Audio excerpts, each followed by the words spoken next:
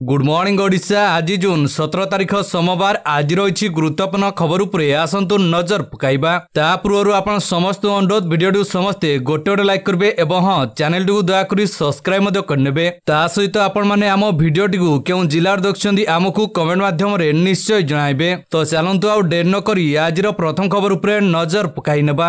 ଇଭିଏମ୍କୁ ହଟାଇ ଦେବା ଉଚିତ ଏଗୁଡ଼ିକୁ ଏଆଇ ସହାୟତାରେ କରାଯାଇପାରିବ ଏହା କହିଲେ ଏଲନ୍ ମକ୍ସ ବିଶ୍ୱର ଧନୀ ବ୍ୟକ୍ତିଙ୍କ ତାଲିକାରେ ସାମିଲ ଟେସ୍ଲା ଏବଂ ସ୍ପେସ୍ ଏକ୍ସ ଭଳି କମ୍ପାନୀର ମାଲିକ ଏଲନ୍ ମକ୍ସ ଇଲେକ୍ଟ୍ରୋନିକ ଭୋଟିଂ ମେସିନକୁ ନେଇ ବଡ଼ ବୟାନ ଦେଇଛନ୍ତି। ଇଭିଏମ୍କୁ ଏଆଇ ସହାୟତାରେ ଏହା କରାଯାଇପାରେ ଏବଂ ତାହାକୁ ହଟାଇ ଦେବା ଉଚିତ ବୋଲି ସେ ନିଜ ସୋସିଆଲ ମିଡିଆ ଏକ୍ସ ଆକାଉଣ୍ଟରେ କହିଛନ୍ତି। ତ ଚାଲନ୍ତୁ ପରବର୍ତ୍ତୀ ଅପଡେଟ୍ ଉପରେ ନଜର ପକାଇ ନେବା। ଡି ଫେକ୍ ଯାଞ୍ଚ ପାଇଁ ଡିଜିଟାଲ ଇଣ୍ଡିଆ ବିଲ୍ ଆଣିବେ ସରକାର। ଡି ଫେକ୍ ଟେକ୍ନୋଲୋଜି ପୁରା ବିଶ୍ୱରେ ଚିନ୍ତାର କାରଣ ଅଛି। ଭାରତରେ ମଧ୍ୟ ଏହାର ପ୍ରଭାବ ଦେଖିବାକୁ ମିଳିଛି। ଡି ଫେକ୍ କୌଶଳ ଦ୍ୱାରା ବିଭ୍ରାନ୍ତିକର ବିଷୟବସ୍ତୁ ସୃଷ୍ଟି ପ୍ରକ୍ରିୟା ବଢି ଚାଲିଛି। ସୋସିଆଲ ମିଡିଆ ଦ୍ୱାରା ଏହା ଲୋକଙ୍କୁ କ୍ଷତି ପହଞ୍ଚାଉଥିବାରୁ ସରକାର ଏହାକୁ ଗମ୍ଭୀରତାର ସହ ନେଇଛନ୍ତି। କୃତ୍ରିମ ବୃଦ୍ଧିମତ ଦ୍ୱାରା ନିର୍ମିତ ନକଲି ଭିଡିଓ ଏବଂ ଏ ବାବଦରେ ଅନଲାଇନ ବିଷୟବସ୍ତୁ ଉପରେ ନିୟନ୍ତ୍ରଣ ପାଇଁ ନବନିର୍ବାଚିତ ନରେନ୍ଦ୍ର ମୋଦି ସରକାର ଆସନ୍ତା ସଂସଦ ଅଧିବେଶନରେ ଏକ ବିଲ୍ ଆଗତ କରିବାକୁ ଯୋଜନା କରୁଥିବା କେତେକ ସୂତ୍ରରୁ ଜଣାପଡ଼ିଛି। ଡିଜିଟାଲ ଇଣ୍ଡିଆ ବିଲ୍ ନାମରେ ନାମିତ ଏକ ବିଲ୍ କୃତ୍ରିମ ବୃଦ୍ଧିମତା ଜ୍ଞାନକୌଶଳର ବ୍ୟବହାର ଉପରେ ନିୟନ୍ତ୍ରଣ ପାଇଁ ଉନ୍ନତ ଉପାୟ ଖୋଜିବ ଏବଂ ସଂସଦରେ ଏହା ଉପସ୍ଥାପିତ ହେବା ପୂର୍ବରୁ ସରକାର ଏହି ବିଲ୍ ଉପରେ ବିଭିନ୍ନ ଦଳର ସହମତି ହାସଲ କରିବାକୁ ଚେଷ୍ଟା କରିବେ ବୋଲି ଜଣାପଡ଼ିଛି। ଆଗାମୀ ସଂସଦ ଅଧିବେଶନରେ ୟୁଟ୍ୟୁବ ସହିତ ବିଭିନ୍ନ ଅନଲାଇନ ମାଧ୍ୟମରେ ପୋଷ୍ଟ କରାଯାଉଥିବା ଭିଡିଓକୁ ନିୟନ୍ତ୍ରଣ କରିବା ପାଇଁ ମଧ୍ୟ ବିଧେୟକ ଆସିବ ବୋଲି ଜଣାପଡ଼ିଛି। ତ ଚାଲନ୍ତୁ ପରବର୍ତ୍ତୀ ଅପଡେଟ୍ ଉପରେ ନଜର ପକାଇ ନେବା।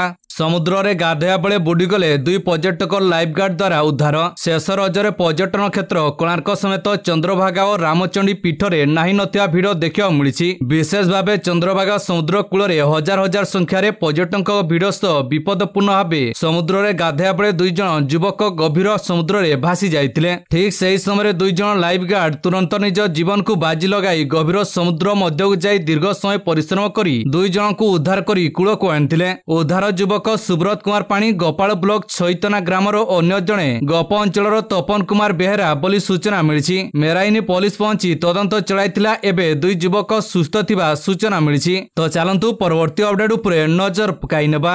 ପବିତ୍ର ଦେବସ୍ନାନ ପୂର୍ଣ୍ଣିମାରେ ଶୃଙ୍ଖଳିତ ଦର୍ଶନ ନେଇ ଗୁରୁତ୍ୱ ପୋଲିସ ପ୍ରଶାସନର ଜୋରଦାର ପ୍ରସ୍ତୁତି। ଜୁନ୍ ବାଇଶ ତାରିଖରେ ପବିତ୍ର ଦେବସ୍ନାନ ପୂର୍ଣ୍ଣିମା ଲକ୍ଷାଧିକ ଭକ୍ତଙ୍କ ସମାଗମ ହେବ ଶ୍ରୀକ୍ଷେତ୍ରରେ। ଭକ୍ତଙ୍କର ଶୃଙ୍ଖଳିତ ଦର୍ଶନ ସହ ମହାପ୍ରଭୁଙ୍କ ନୀତିକାନ୍ତି ଯେଭଳି ଶୃଙ୍ଖଳିତ ହୋଇପାରିବ ସେ ନେଇ ବିଶେଷ ଗୁରୁତ୍ୱ ଦେଇଛି ପୁରୀ ପୋଲିସ। ଏଥିପାଇଁ ପୁରୀ ପୋଲିସ ପକ୍ଷରୁ ଜୋରଦାର ପ୍ରସ୍ତୁତି ମଧ୍ୟ ଆରମ୍ଭ ହୋଇଛି। ତେବେ ରବିବାର ଦୈତାପତି ନିଯୋଗ ସହ ପୁରୀ ଏସପି ପିନାକ ମିଶ୍ର ସମସ୍ତ ବ୍ୟବସ୍ଥା ନେଇ ଆଲୋଚନା କରିଛନ୍ତି। ପରିମାଣିକ ଟିକେଟ ଦର୍ଶନ ବ୍ୟବସ୍ଥା ସହ ସ୍ନାନ ବେଦୀରେ ବିଶୃଙ୍ଖଳିତ ଆଚରଣକୁ ରୋକିବା ପାଇଁ ସିସିଟିଭି କ୍ୟାମେରା ଏବଂ ଟିଭିର ବ୍ୟବସ୍ଥା କରିବା ପାଇଁ ନିଯୋଗ ପକ୍ଷରୁ ପ୍ରସ୍ତାବ ଦିଆଯାଇଛି। ବିଶେଷ କରି ମହାପ୍ରଭୁଙ୍କ ଜଳ ଲାଗି ଓ ହାତୀବେଶ ସମୟରେ କୌଣସି ସେବାୟତ ଯେଭଳି ଶ୍ରୀ ବିଗ୍ରହମାନଙ୍କ ସମ୍ମୁଖରେ ଛିଡା ହୋଇ ବାଧା ସୃଷ୍ଟି କରିବେ ନାହିଁ ଓ ହାତୀବେଶ ଅକ୍ଷୁଣ୍ଣ ରହିବ ସେ ଉପରେ ମଧ୍ୟ ଦୈତାପତି ନିଯୋଗ ଏସପିଙ୍କ ସହ ଆଲୋଚନା କରି ପ୍ରସ୍ତାବ ଦେଇଛନ୍ତି। ପୁରୀ ଏସପିଙ୍କ କନଫରେନ୍ସ ହଲ୍ଠାରେ ଆୟୋଜିତ ଏହି ଗୁରୁତ୍ୱପୂର୍ଣ୍ଣ ବୈଠକରେ ଦୈତାପତି ନିଯୋଗ ସଭାପତି ସମ୍ପାଦକଙ୍କ ସହ ନିଯୋଗର ସମସ୍ତ ସଦସ୍ୟମାନେ ଉପସ୍ଥିତ ଥିଲେ। ମହାପ୍ରଭୁଙ୍କ ଆଶୀର୍ବାଦରୁ ଚଳିତ ବର୍ଷ ସ୍ନାନ ଯାତ୍ରା ଓ ରଥଯାତ୍ରା ଶୃଙ୍ଖଳିତ ହେବ ବୋଲି ଆଶା ରଖିଛନ୍ତି ଉଭୟ ସେବାୟତ ପୋଲିସ ପ୍ରଶାସନ। ତ ଚାଲନ୍ତୁ ପରବର୍ତ୍ତୀ ଅପଡେଟ୍ ଉପରେ ନଜର ପକାଇ ନେବା। ସଲମାନ ଖାନଙ୍କ ଘରକୁ ଗୁଳିମାଡ଼ ମାମଲାରେ ଆଉ ଜଣେ ଅଭିଯୁକ୍ତ ଗିରଫ। ବଲିଉଡ ଅଭିନେତା ସଲମାନ ଖାନଙ୍କ ଘରକୁ ଗୁଳିମାଡ଼ ମାମଲାରେ ପୁଣି ଥରେ ରାଜସ୍ଥାନ କନେକ୍ସନ ସାମ୍ନାକୁ ଆସିଛି ବୁନ୍ଦୀ ଜିଲ୍ଲାରେ ମୁମ୍ବାଇ କ୍ରାଇମବ୍ରାଞ୍ଚ ଟିମ୍ ହିନ୍ଦାଉଲ୍ଲିରୁ ଜଣେ ଅଭିଯୁକ୍ତକୁ ଗିରଫ କରିଛି। ପୋଲିସ ତାଙ୍କୁ ଗିରଫ କରି ମୁମ୍ବାଇକୁ ନେଇଛି। ସେଠାରେ ଅଭିଯୁକ୍ତଙ୍କୁ ପଚରାଉଚରା କରାଯିବ। ତ ଚାଲନ୍ତୁ ପରବର୍ତ୍ତୀ ଅପଡେଟ୍ ଉପରେ ନଜର ପକାଇ ନେବା। ଦିଲ୍ଲୀରେ ଜଳ ସମସ୍ୟା ଲୋକଙ୍କ ମଧ୍ୟରେ ମାରପିଟରେ ତିନି ଆହତ। ଦିଲ୍ଲୀରେ ଜଳ ସମସ୍ୟା ଏବେ ଉତ୍କଟ ହେବାର ଲାଗିଛି। ଦ୍ୱାରକା ଜିଲ୍ଲାରେ ପାଣି ପାଇଁ ଚାଲିଛି ଲଢେଇ। ଏଠାରେ ମାରପିଟରେ ତିନି ଜଣ ଲୋକ ଆହତ ହୋଇଛନ୍ତି। ଦିଲ୍ଲୀ ପୋଲିସ ଏହି ସୂଚନା ଦେଇଛି ଏବଂ ଏହା ମଧ୍ୟ ସ୍ପଷ୍ଟ କରିଛି ଯେ ଏହି ମାରପିଟରେ କୌଣସି ସାମ୍ପ୍ରଦାୟିକ ଦିଗ ନାହିଁ। ଦିଲ୍ଲୀ ପୋଲିସ ସୂଚନା ଅନୁସାରେ ଦ୍ୱାରକା ଜିଲ୍ଲା ଅଞ୍ଚଳରେ ଏକ ସର୍ବସାଧାରଣ ନଳରୁ ପାଣି ଭରିବା ବେଳେ ଲୋକଙ୍କ ମଧ୍ୟରେ ଝଗଡ଼ା ହୋଇଥିଲା। ଏଥିରେ ତିନି ଜଣ ଲୋକ ଆହତ ହୋଇଛନ୍ତି ଏବଂ ତାଙ୍କୁ ଇନ୍ଦିରା ଗାନ୍ଧୀ ହସ୍ପିଟାଲରେ ଭର୍ତ୍ତି କରାଯାଇଛି। ତ ଚାଲନ୍ତୁ ପରବର୍ତ୍ତୀ ଅପଡେଟ୍ ଉପରେ ନଜର ପକାଇ ନେବା ଇଭିଏମ୍କୁ ନେଇ ପ୍ରଶ୍ନ ଉଠାଇଲେ ରାହୁଲ ଗାନ୍ଧୀ କହିଲେ ଏହା ବ୍ଲାକ୍ ବକ୍ସ ଯାହା ଯାଞ୍ଚ କରିବାକୁ କାହାକୁ ନାହିଁ ଅନୁମତି। ପୁଣି ଉଠିଲା ଇଲେକ୍ଟ୍ରୋନିକ୍ ଭୋଟିଂ ମେସିନ୍ ତଥା ଇଭିଏମ୍ ପ୍ରସଙ୍ଗ।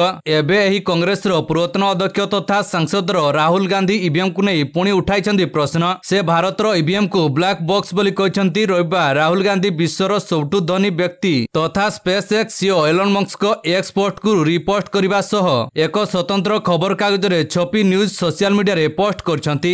ରାହୁଲ କହିଛନ୍ତି ଭାରତରେ ଇଭିଏମ୍ ହେଉଛି ଏକ ବ୍ଲାକ୍ ବକ୍ସ ଏହାକୁ ଯାଞ୍ଚ କରିବାକୁ କାହାର ବି ଅନୁମତି ନାହିଁ ତ ଚାଲନ୍ତୁ ପରବର୍ତ୍ତୀ ଅପଡେଟ୍ ଉପରେ ନଜର ପକାଇ ନେବା ଆଇନ ପୂର୍ବ ଅବକାରୀ ମନ୍ତ୍ରୀ ପୃଥ୍ୱୀରାଜ ହରିଚନ୍ଦନଙ୍କ ବୟାନ ଅବକାରୀ ନୀତିରେ ସଂଶୋଧନ ଆଣି ଚୋରା ମଦ କାରବାର ରୋକିବା ଉପରେ ଦେଲେ ଗୁରୁତ୍ୱ। କ୍ୟାବିନେଟ୍ ମନ୍ତ୍ରୀ ପୃଥ୍ୱୀରାଜ ହରିଚନ୍ଦନଙ୍କୁ ଆଇନ ଅବକାରୀ ଓ ପୂର୍ବ ଭଳି ଗୁରୁତ୍ୱପୂର୍ଣ୍ଣ ବିଭାଗର ଦାୟିତ୍ୱ ମିଳିଛି। ବିଭାଗ ବଣ୍ଟନ ପରେ କନକ ନ୍ୟୁଜ୍କୁ ପ୍ରତିକ୍ରିୟା ଦେଇ ମନ୍ତ୍ରୀ ସୁପ୍ରିମକୋର୍ଟରେ କିଭଳି ଆନ୍ତଃରାଜ୍ୟ ବିବାଦ ମାମଲାଗୁଡ଼ିକରେ ସଠିକ୍ ପରିଚାଳନା ଉପରେ ଗୁରୁତ୍ୱ ଦେଇଛନ୍ତି ସେହିପରି ରାଜ୍ୟରେ ଅବକାରୀ ନୀତି ସଂଶୋଧନ କରି ଚୋରା ମଦ କାରବାରକୁ ରୋକିବା ଉପରେ ପଦକ୍ଷେପ ନିଆଯିବ ବୋଲି କହିଛନ୍ତି। ଏହା ସହ ନିର୍ବାଚନ ବେଳେ ବିଜେପି ତରଫରୁ ରାଜ୍ୟବାସୀଙ୍କୁ ଦିଆଯାଇଥିବା ସମସ୍ତ ପ୍ରତିଶ୍ରୁତି ପୂରଣ କରାଯିବା ନେଇ ଦୃଢ଼ୋକ୍ତି ପ୍ରକାଶ କରିଛନ୍ତି ପୃଥ୍ୱୀରାଜ। ସେ କହିଛନ୍ତି କି ରାଜ୍ୟ ସରକାର ଶପଥ ନେବା ମାତ୍ରେ କ୍ୱିଣ୍ଟାଲ ମଧ୍ୟରେ ଧାନର ଏମ୍ଏସ୍ପି ଏକତିରିଶହ ଟଙ୍କାରେ କିଣାଯିବ ବୋଲି କହିଛନ୍ତି। ଏହା ସହ ସୁଭଦ୍ରା ଯୋଜନାରେ ଆଗାମୀ ଶହେ ଦିନ ମଧ୍ୟରେ ରାଜ୍ୟର ମହିଳାମାନଙ୍କୁ ପଚାଶ ହଜାର ଟଙ୍କା ଲେଖାଏଁ ଗିଫ୍ଟ କାର୍ଡ ପ୍ରଦାନ କରାଯିବ। ତ ଚାଲନ୍ତୁ ପରବର୍ତ୍ତୀ ଅପଡେଟ୍ ଉପରେ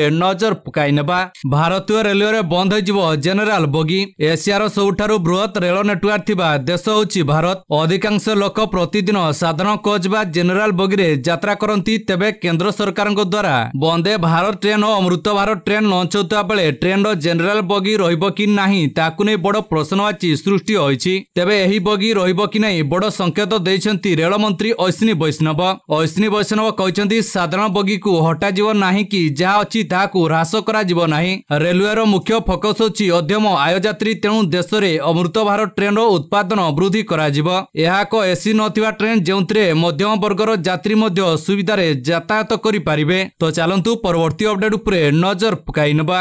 କନକ ନ୍ୟୁଜ୍କୁ ପ୍ରଥମ ସାକ୍ଷାତକାର ଦେଲେ ମୁଖ୍ୟମନ୍ତ୍ରୀ ମୋହନ ମାଝୀ। କହିଲେ ପାଞ୍ଚ ବର୍ଷରେ ପଚାଶ ବର୍ଷର ବିକାଶ ହେବ। ଦୀର୍ଘ ଚବିଶ ବର୍ଷ ପରେ ଶାସନର ପରିବର୍ତ୍ତନ ହୋଇଛି। ଯେଉଁଭଳି ଭାବରେ ଓଡ଼ିଶାର ବିକାଶ ସେବା କଥା ହୋଇନି ଲୋକଙ୍କ ପାଖରେ ସେବା ପହଞ୍ଚିବା କଥା ଲୋକମାନଙ୍କୁ ସାମାଜିକ ନ୍ୟାୟ ମିଳିବା କଥା ମିଳିପାରିଲା ନାହିଁ। ବିଗତ ଦିନରେ ଲୋକମାନେ ବହୁତ କଷ୍ଟ ପାଇଥିଲେ। ଏଥିସହ ଏହି ଲମ୍ବା ସମୟ ମଧ୍ୟରେ ଲୋକମାନ ମୁଖ୍ୟମନ୍ତ୍ରୀଙ୍କୁ ଭେଟିବା ସହ ଦେଖା କରିବା ଏସବୁ ବହୁ ପରିମାଣରେ କମି ଯାଇଥିଲା। ଲୋକମାନଙ୍କୁ ସିଧାସଳଖ ଭେଟୁନଥିଲେ ଏବେ ପରିବର୍ତ୍ତନ ହୋଇଛି। ଲୋକମାନେ ଚାହୁଁଛନ୍ତି ମୁଖ୍ୟମନ୍ତ୍ରୀଙ୍କୁ ଭେଟିବା ଦରକାର। ଆଉ ମୁଁ ମଧ୍ୟ ଲୋକମାନଙ୍କ ସହ ଭେଟିବାକୁ ଚାହୁଁଛି। ଯେହେତୁ ମୁଁ ସାଧାରଣ ସ୍ତରରୁ ତୃଣମୂଳକ ସ୍ତରକୁ ଆସିଛି ତୃଣମୂଳକ ସ୍ତରର ଲୋକଙ୍କ ସହ ମିଶିବାକୁ ପଡ଼ିବ। ସେମାନଙ୍କ କଥା ସମସ୍ୟା ଶୁଣିବାକୁ ପଡ଼ିବ। ଏବେ ଲୋକମାନେ ଲୋକଙ୍କ ମୁଖ୍ୟମନ୍ତ୍ରୀ ପାଇଛନ୍ତି। ଲୋକଙ୍କ ଠାରୁ ବିଭିନ୍ନ ପରାମର୍ଶ ମିଳୁଛି। ଆଗାମୀ ପାଞ୍ଚ ବର୍ଷରେ ପଚାଶ ବର୍ଷର ବିକାଶ ହେବ ଯେଉଁମାନେ ବି ଆସୁଛନ୍ତି ସେମାନେ ଖୁସି ନେଇ ସେମାନେ ଆସୁଛନ୍ତି। ସମସ୍ତଙ୍କୁ ଧନ୍ୟବାଦ ମୋ ଉପରେ ଆଶା କରିଛନ୍ତି ବୋଲି କହିଛନ୍ତି ମୁଖ୍ୟମନ୍ତ୍ରୀ ମୋହନ ମାଝୀ। ତ ଚାଲନ୍ତୁ ପରବର୍ତ୍ତୀ ଅପଡେଟ୍ ଉପରେ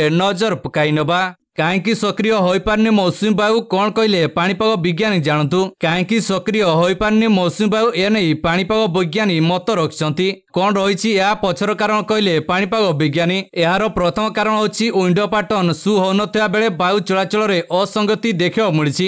ଏଥିସହ ସେ କହିଛନ୍ତି ସାଧାରଣ ଦେଖାଯାଏ ଜୁନ୍ ମାସରେ ଏକରୁ ଦୁଇଟି ଲଘୁଚାପ କ୍ଷେତ୍ର ବଙ୍ଗୋପସାଗରରେ ସୃଷ୍ଟି ହୁଏ ଯାହା ଚଳିତ ଥର ଦେଖିବାକୁ ମିଳିନି। ଯାହା ବାଦଲର ଘନତ୍ୱ ବଢ଼ାଇବାରେ ସହାୟକ ହେବା ସହ ଏହା ବର୍ତ୍ତମାନ ପ୍ରଶାନ୍ତ ମହାସାଗରର ସକ୍ରିୟ ଥିବା ବେଳେ ଯାହା ବଙ୍ଗୋପସାଗରରେ ଆଉ ଦୁଇରୁ ଚାରି ତାରିଖ ପରେ ପହଞ୍ଚିବ।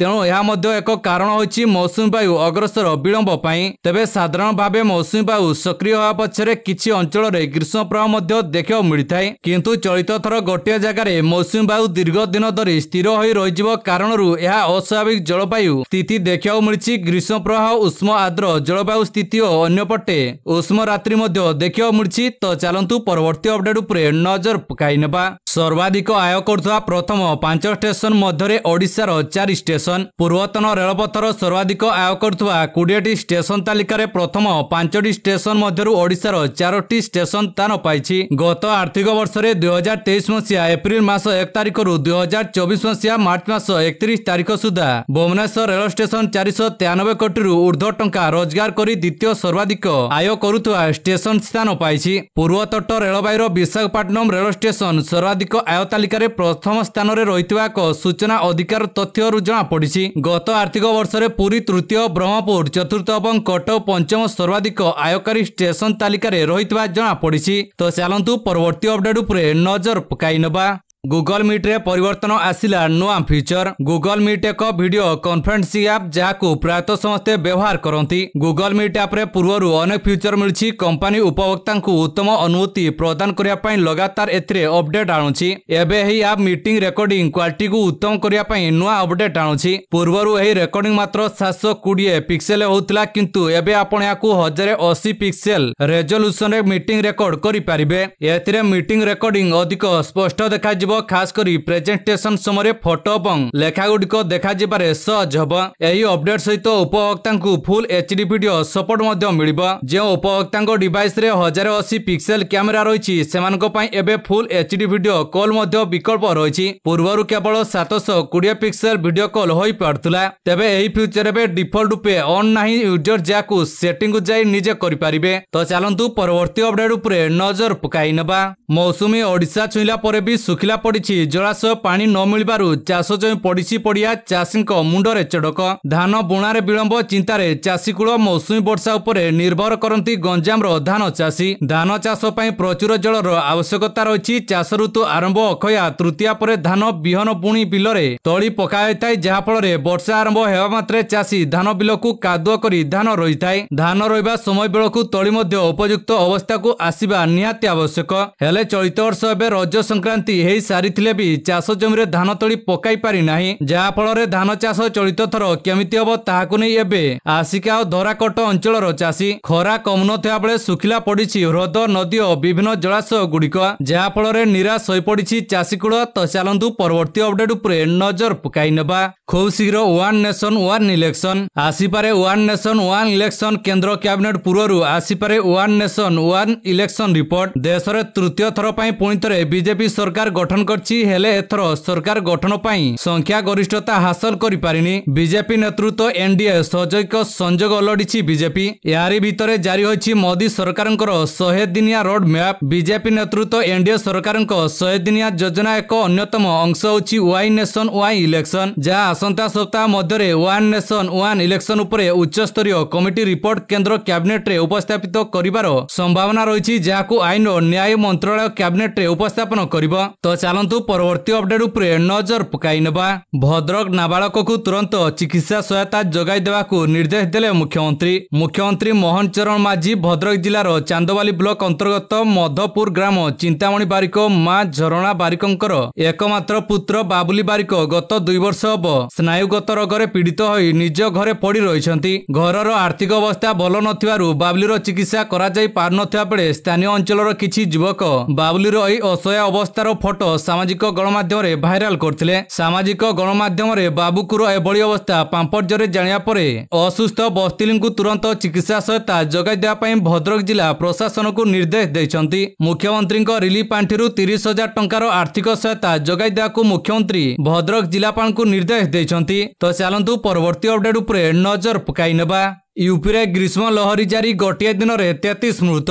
ଉତ୍ତରପ୍ରଦେଶରେ ପ୍ରବଳ ଗ୍ରୀଷ୍ମ ପ୍ରବାହ ଜାରି ରହିଛି ଶନିବାର। କାନପୁର ଦେଶର ସବୁଠୁ ଉତ୍ତପ୍ତ ସହର ପାଲଟିଥିଲା। ଏଠାରେ ଦିନର ସର୍ବାଧିକ ତାପମାତ୍ରା ଛୟାଳିଶ ଦଶମିକ ତିନି ଡିଗ୍ରୀ ସେଲସିୟସକୁ ପହଞ୍ଚିଥିବା ବେଳେ ରାତିର ତାପମାତ୍ରା ପଇଁତିରିଶ ଦଶମିକ ଦୁଇ ଡିଗ୍ରୀ ସେଲସିୟସ ସହିତ ଗରମ ରାତି ପାଲଟିଥିଲା। ରାଜ୍ୟର ଏବେ ଭୀଷଣ ଲୁ ପ୍ରବାହ ହେଉଥିବା ବେଳେ ଶନିବାର ଗୋଟିଏ ଦିନରେ ରାଜ୍ୟର ବିଭିନ୍ନ ସ୍ଥାନରେ ତେତିଶ ଜଣଙ୍କ ମୃତ୍ୟୁ ହୋଇଛି। କାନପୁର ବୁନ୍ଦେଲଖଣ୍ଡରେ ଗ୍ରୀଷ୍ମ ପ୍ରବାହ ଯୋଗୁଁ ଶନିବାର କୋଡ଼ିଏ ଜଣଙ୍କ ମୃତ୍ୟୁ ହୋଇଥିଲା। ଏଥିରେ କାନପୁରରେ ଆଠ ଜଣ ପ୍ରାଣ ହରାଇଥିବା ବେଳେ ଚିତ୍ରକୂଟରେ ଛଅ ଜଣ ମହାବାହାରେ ତିନି ଜଣ ବାନ୍ଦା ଓ ହମିରପୁରରେ ଜଣେ ଲେଖାଏଁ ଲୋକଙ୍କ ମୃତ୍ୟୁ ହୋଇଥିବା ସରକାରୀ ଭାବେ ସ୍ପଷ୍ଟ କରାଯାଇଛି। ଏହାଛଡା ବାରାଣାସୀ ଓ ଆଖପାଖରେ ଗ୍ରୀଷ୍ମ ପ୍ରବାହ ଯୋଗୁଁ ଚଉଦ ଜଣ ପ୍ରାଣ ହରାଇଛନ୍ତି। ଏଥିରେ କେବଳ ବାରାଣାସୀରେ ସାତ ଜଣଙ୍କ ମୃତ୍ୟୁ ହୋଇଥିବା ବେଳେ ବଲିଆରେ ତିନି ଜଣ ମିର୍ଜାପୁରରେ ଦୁଇ ଜଣ ଗାଜିପୁର ଓ ସୋନଭଦ୍ରାରେ ଜଣେ ଲେଖାଏଁ ବ୍ୟକ୍ତି ପ୍ରାଣ ହରାଇଛନ୍ତି। ତ ଚାଲନ୍ତୁ ପରବର୍ତ୍ତୀ ଖବର ଉପରେ ନଜର ପକାଇ ନେବା। ପେଟିଏମ୍ର ଏହି ବ୍ୟବସାୟକୁ କିଣିବାକୁ ଚାହୁଁଛି ଜୋମାଟୋ ମିଳିପାରେ ପନ୍ଦରଶହ କୋଟି ଫୁଡ୍ ଡେଲିଭରି କମ୍ପାନୀ ଜୋମାଟୋ ପେଟିଏମ୍ର ବଡ଼ ବ୍ୟବସାୟ କିଣିବା ପାଇଁ ଯୋଜନା କରୁଛି। ଜୋମାଟୋ ପେଟିଏମ୍ର ଟେକିଂ ଏବଂ ଇଭେଣ୍ଟ ବ୍ୟବସାୟକୁ କିଣିବା ପାଇଁ ଆଲୋଚନା କରୁଛି। ଆକଳନ କରାଉଛି ପନ୍ଦରଶହ କୋଟି ଟଙ୍କାର ଏହି ଚୁକ୍ତି ହୋଇପାରେ ଜୋମାଟୋ ନିଜ ବ୍ୟବସାୟକୁ ଅନ୍ୟ କ୍ଷେତ୍ରରେ ବିସ୍ତାର କରିବାକୁ ଚାହୁଁଛି। ଏଥିପାଇଁ ପେଟିଏମ୍ର ଏହି ବ୍ୟବସାୟକୁ କିଣିବା ପାଇଁ ବିଚାର କରୁଛି। ଯଦି ଏହି ଡିଲ୍ ସମ୍ପୂର୍ଣ୍ଣ ହେଉଛି ତେବେ ଏହା ଫୁଡ୍ ଡେଲିଭରି କମ୍ପାନୀ ଜୋମାଟୋର ଦ୍ୱିତୀୟ ସବୁଠାରୁ ବଡ଼ କ୍ରୟ ହେବ। ତ ଚାଲନ୍ତୁ ପରବର୍ତ୍ତୀ ଅପଡେଟ୍ ଉପରେ ନଜର ପକାଇ ନେବା। ତ ଦର୍ଶକ ବନ୍ଧୁ ଆପଣଙ୍କୁ ଆମର ଗୋଟେ ଛୋଟିଆ ଅନୁରୋଧ ଆପଣମାନେ ଆମ ଭିଡ଼ିଓଟିକୁ କେଉଁ ଜିଲ୍ଲାରୁ ଦେଖୁଛନ୍ତି ଆମକୁ କମେଣ୍ଟ ମାଧ୍ୟମରେ ନିଶ୍ଚୟ ଜଣାନ୍ତୁ। ତା ସହିତ ଆମ ଭିଡ଼ିଓ ଗୁଡ଼ିକୁ ପ୍ରତ୍ୟେକ ଦିନ ସମ୍ପୂର୍ଣ୍ଣ ଭାବେ ଦେଖୁଥିବାରୁ ଆପଣଙ୍କୁ ବହୁତ ବହୁତ ଧନ୍ୟବାଦ। ତ ବାସ୍ ଆଜି ପାଇଁ ଏତିକି ଏଇଟ୍ ରହିଲି ଆସନ୍ତାକାଲି ପୁଣି ଆପଣମାନଙ୍କ ପାଇଁ ନୂଆ ଲେଟେଷ୍ଟ ନ୍ୟୁଜ୍ ଭିଡ଼ିଓ ନେଇ ଆସିବି।